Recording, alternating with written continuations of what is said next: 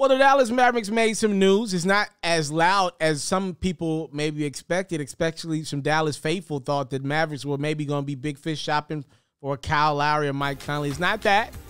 The Mavericks do make a little bit of noise. They get one of the uh, best three point shooters available in free agency, and Reggie Bullock.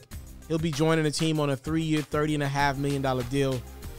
It's something. I like Bullock a lot. I mean, he'll get a lot of great looks off Luka you know, that ball is going to be placed literally in, in Bullock's chest from some of them beautiful patches, passes from Doncic, who's just got an incredible feel for the game. You know, I'm just looking at that Mavericks team like that's not what Luka needed.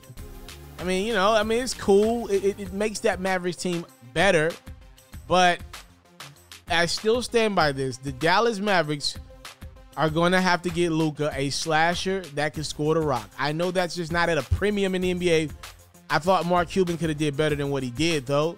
You know, I think you need a dog around Luka, somebody that ain't afraid to say, "Yo, bad shot, Luka."